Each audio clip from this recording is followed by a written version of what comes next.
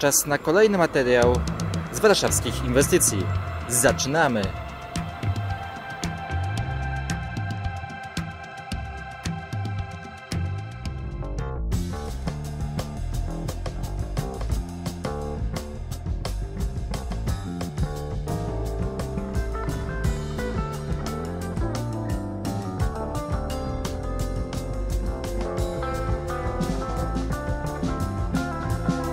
Warszawskie inwestycje. Witam Was tutaj, cześć i czemam Znosz i zapraszam Was już teraz na kolejny materiał z warszawskich inwestycji. Jak widzicie znajdujemy się nad placem na rozdrożu, który oczywiście znajduje się na Śródmieściu. Natomiast co jest ważne, tutaj już rozpoczyna nawet kawałek wcześniej e, przebudowa trasy Łazienkowskiej, która jest tematem dzisiejszego e, materiału. Zwróćcie uwagę na przystanek autobusowy, który się znajduje na dole. Jest trochę przesunięty. Trzeba przejść aż dwa pasy, żeby faktycznie dojść do nowego przystanku, ponieważ jest tutaj już zwężenie do dwóch pasów. E, no nie ukrywam, dosyć ciekawy tutaj zabieg z tym przystankiem autobusowym, no ale nie o tym będę do dzisiaj mówić. Oczywiście chodzi głównie jak tam zmieniły się postępy prac przy budowie wiaduktu północnego. No tutaj faktycznie już widać go, tak bym powiedział, dosyć poważnie. E, słupy powstają, ale nawet niekoniecznie e, słupy, bo mamy już bezpośrednio nowy, nową płytę. Miała płyta w niektórych miejscach już się pojawia. Natomiast co ważne, jeszcze na wstępie może powiem, że w końcu udało mi się uzyskać pozwolenia od Służby Ochrony Państwa. Dlatego macie tak ładne zdjęcia bezpośrednio z nadprzebudowy, jeśli ktoś by się zastanawiał, jakim cudem ja tutaj latam. E, tak, to w taki sposób właśnie w końcu mi się udało to zrobić. Nie było to proste, ale ostatecznie po paru próbach się udało. E, jak widzicie, Tutaj są nowe fundamenty już bezpośrednio, czyli na nich będzie właśnie osadzona nowa płyta e, trasy Łazienkowskiej i wiaduktu, a tutaj już widzicie już e, zbrojenie. E, faktycznie trzeba przyznać, że zdziwiłem się ostatnio, że już tutaj są na etapie zbrojenia nowej właśnie płyty, podstawy właściwie pod cały wiadukt, na którym będzie właśnie później ułożona oczywiście jezdnia. Natomiast tutaj, jak zwrócicie uwagę, też już zmieniły się. Głównie chodzi oczywiście o zjazdy rowerowe, które się zmieniają na przestrzeni czasu, ale o tym za chwilę. My najpierw poglądajmy wszystkie podpory, jak tutaj wyglądają. Nie będę tutaj pisać po kolei, która jak się nazywa, bo tego w sumie nawet nie wiem. E, nie pamiętam, która ma nazwę P1, P2 i tak dalej. To tylko przy moście e, przez Wisłę nowym, który budują. Natomiast tutaj zwróćcie uwagę, że no, rusztowań oczywiście jest mnóstwo, dlatego też nie ma możliwości jakichś tutaj przejść dla pieszych z drugiej strony, właśnie ze strony zachodniej aktualnie zbytnio nie da się przejść nigdzie e, pod wiaduktem, co minus oczywiście, bardzo to utrudnia życie, no ale jednak trzeba poczekać, później będzie o wiele lepiej, e, zaczynając od tego, że będą ścieżki rowerowe na wiadukcie, więc to jest duż, duża zaleta w porównaniu z tym, jak to było poprzednio. No teraz w ogóle nie da się przejść pieszą e, górą, no ale w sumie kto by chciał. E, no jak tutaj widzicie, właśnie trwają te elementy zbrojenia i jeszcze nie ma wylewanego betonu, chociaż zdjęcia mają już parę dni, więc możliwe że to się zmieniło, iż faktycznie już tutaj coś jest wylewane. E, no ale tutaj zwróćcie uwagę, że te, choć to są w teorii dwa wiadukty, to one nie są jako tako od siebie e, rozdzielone. E, te wiadukty na siebie prawie nachodzą. Oczywiście teraz to jest niemożliwe, no bo tutaj jest jeden stary, drugi nowy. No i tutaj sztucznie tym betonową barierą są oddzielone. Jednakże faktycznie już jak się skończy przebudowa, to to są dwa wiadukty, które są ze sobą dosyć mocno, bym powiedział, połączone jako jedna całość. Tutaj zwróćcie uwagę, całkowicie nowy ładnie e, prezentujący się właśnie e, filar pod nowy most znaczy pod nowy wiaduk, nie most. Y, no i tutaj oczywiście jeszcze elementy zbrojenia od nowych y, fundamentów, także tutaj widzicie, że niektóre już się pojawiły w całości, niektóre nie. Jeżeli pewnie nie ma niektórych fundamentów jeszcze, znaczy niektórych słupów jeszcze tutaj w całości, to najprawdopodobniej chodzi o to, że były jakieś problemy z kolizją y, w tym miejscu i dlatego to trochę im dłużej trwało. Tutaj też dosyć ciekawe sobie powstały schodki nowe, których wcześniej aż taki sposób widoczny nie było. No i tutaj oczywiście wjazd bezpośrednio na starą, nową trasę łazienkowską. Zwróćmy jeszcze uwagę, trochę jak na starych ujęciach, jak to wygląda od boku, żebyśmy mogli dokładnie e, zrozumieć, jak to wygląda. Proszę bardzo, chwila ciszy. Swoją drogą też zwróćcie uwagę, tak jak przylecieliśmy na trasę łazienkowską, możecie zauważyć niesamowitą rzeczą, mianowicie korki. Kto by się spodziewał, że jeżeli się zwęży ulicę z trzech pasów do jednego buspasa i jednego zwykłego pasa, no to może go być kotki. No ale jednak, na samym wiadukcie budowanym, przebudowywanym, oczywiście starym, nie ma właściwie kotków. No bo jak mogą się robić kotki, jeżeli to kotki są przed wjazdem? Tutaj jak już się jedzie, to już się jedzie. No i oczywiście sam dosyć bym powiedział długie te kotki. Na moście łazienkowskim to nawet nie chcę patrzeć, jak, jak to jest długie. No ja tutaj latałem tak w miarę w godzinach szczytu, więc możecie mniej więcej zobaczyć, jak to wygląda. Oczywiście autobusy, taksówki i inne pojazdy dopuszczone jeżdżą buspasem, e, no jednakże no to jest zdecydowana mniejszość e, pojazdów poruszających się po tym moście. E, tak to wygląda. Z drugiej strony, co ważne, a propos tutaj właśnie mówiłem tych przejazdów i tego, co tu się faktycznie zmienia, jeżeli chodzi o objazdy, no, aktualnie proponowane zjazdy są, e, czy objazdy, e, żeby nie jechać trasą Mozienkowską, to jest ulica Spacerowa jadąc od Mokotowa.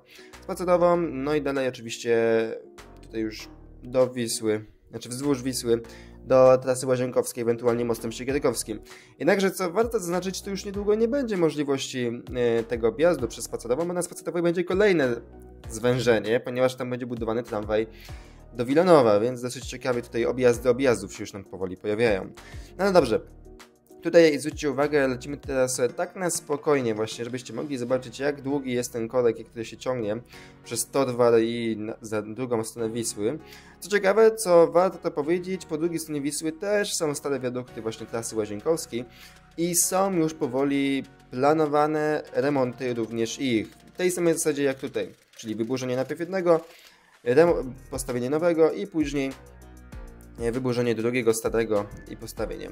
Tutaj są właśnie te podjazdy rowerowe, o których mówiłem wcześniej, gdzie też są schody. Schody te stare zostaną całkowicie wyburzone na rzecz nowych, e, które właśnie będą przechodzić przez ścieżkę rowerową, oczywiście bezpieczny e, sposób. Przystanek tutaj autobusowy aktualnie całkowicie nie działający, zresztą on będzie jeszcze przebudowany, jak będzie robiona część południowa wiaduktu, no i tutaj część północna Potem właśnie możecie zaobserwować jak to wygląda.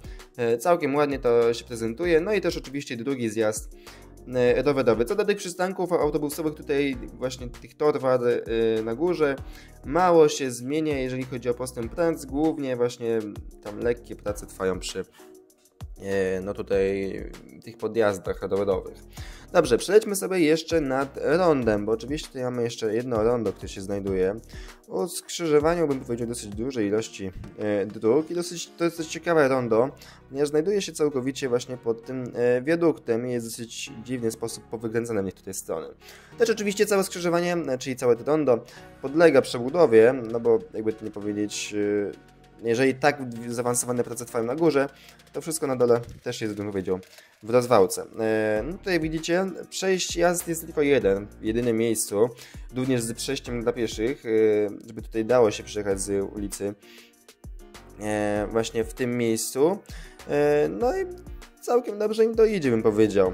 Tutaj jeszcze taki przelot na takiej perspektywie, abyście mogli zobaczyć z lotu ptaka, jak wygląda właśnie i przebudowa nowych przystanków właśnie na górze, jak i również e, przebudowa e, dalszej części e, wiaduktu, ale to po kolei. Najpierw sobie zobaczmy tak na spokojnie, tutaj jak widzicie nikomu się nigdzie nie spieszy tą część przebudowy. No tutaj właśnie się zaczynają te podjazdy rowerowe. Co do podjazdów rowerowych, no to właśnie w tym miejscu będą się kończyć też ścieżki rowerowe. Co minus, bo dalej nie jest jeszcze w najbliższym czasie planowana dobudowa trasy rowerowej właśnie bezpośrednio do Wisły. E, a według mnie to będzie brakujący znowu kolejny element, ale zawsze już coś mi się uda, jakiś, jakiś krok dalej. Tutaj jest ścieżka rowerowa po stronie prawej, teraz jak patrzymy, czyli północnej, będzie miała dosyć ciekawy zakręt, bo będzie miała jeszcze element e, wiaduktu, żeby tutaj dojechać, taka kładka będzie mała. E, no i tutaj właśnie zaczyna Dalsza część, czyli rondo, e, nowe podpory pod nowy wiadukt, no i możecie zobaczyć jak to wygląda właśnie z tym przepołowieniem, że jednego nie ma, a drugie jest, a tutaj już nawet właśnie powstają e, podstawy pod nową e, płytę wiaduktową. Tu jest jeszcze to rondo, o którym mówiłem, skrzyżowanie ulicy Rozbrat, Myśliwicka i Łazienkowska. Co Myśliwicką to ja wiem, że zawsze źle ją przekręcam, ale no, kiedyś się przyzwyczaiłem do tego, jak to mówili w radiu, a teraz nie słucham już tego radia. E, co nie zmienia faktu, że tutaj możecie zobaczyć właśnie jak to e, wygląda. No i tutaj siłą rzeczy zwróćcie uwagę, że nie dałoby się zbytnio utrzymać ruchu e, na tej jednej jezdni, zresztą na pewno to będzie przekładane, no bo tutaj w tym miejscu są aktualnie rusztowania. Da się oczywiście w niektórych sytuacjach, kiedy nie da się wyjść z zamknięcia jakiejś jezdni, no ale tutaj akurat mogli sobie to ograniczyć, żeby nie było tego ronda w tym miejscu, no i też tak również się tutaj to wydarzyło, także całkiem nieźle bym to im powiedział idzie. Jeżeli jesteście ciekawi, kiedy faktycznie zakończy się budowa, bo domyślam się, że część z Was jest ciekawa. W teorii około roku miała trwać budowa pierwszego wiaduktu, czyli północnego, jednakże ja sądzę, że jakoś już zimą, nie wiem, pewnie w październiku, październik, grudzień, najprawdopodobniej może już się przejedziemy nową, yy, nowym wiaduktem, nową jezdnią, właśnie tą północną. Natomiast sama budowa ma się zakończyć, a no, no to faktycznie, to nie, to, teraz tak spojrzałem na datę zakończenia tej inwestycji, no to nie, to, to ta cała przebudowa jeszcze trochę potrwa. Planowane otwarcie wiaduktu nowego jest mniej więcej na, po, na początku 2023 roku, natomiast same zakończenie całej przebudowy to jest marzec 2024. Powiem Wam, że to jest kawał czasu od, od dzisiaj, i na pewno raczej się bym powiedział w, w tym terminie wydobią, bo tu całkiem interpretacje idą szybko, jednakże to jest dosyć poważna i dużo rozbudowana inwestycja. Zwróćcie też uwagę, że tutaj właśnie te ścieżki rowerowe, o których mówiłem, nie są jeszcze w żaden sposób robione, jeżeli chodzi o zjazdy na nowy wiadukt, ale domyślam się, że to będą już robić bezpośrednio.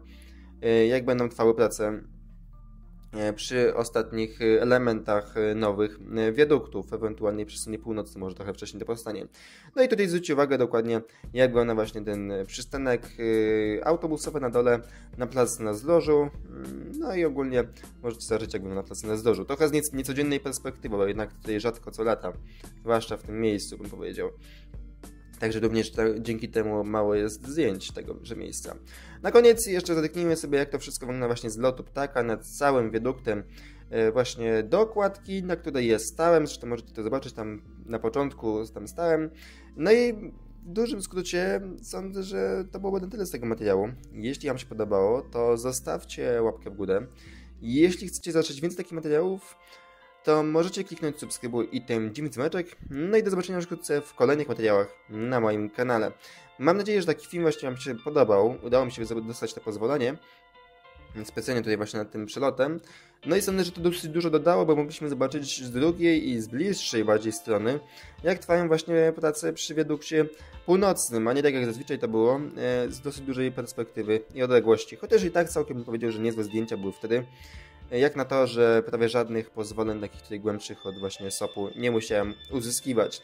W najbliższych dniach jeszcze będzie parę filmów, właśnie z miejsc, gdzie dostałem pozwolenie od SOP-u, bo to był jeden dzień hurtowy, kiedy latałem wszędzie, między innymi niedaleko Pałacu Prezydenckiego, czyli budowa kład, kładki pieszo-rowerowej czy mostu e, przez Wisłę nowego na Pragę, e, jak i również e, tramwaj na Wilanów, węzeł Rakowiecka, ale to jeszcze zobaczycie e, w najbliższych dniach, więc spokojnie możecie się przygotować na to. W najbliższych dniach również będzie mniejsza z tym. Ale to byłoby tyle. Do zobaczenia wkrótce w kolejnych materiałach na moim kanale. Cześć!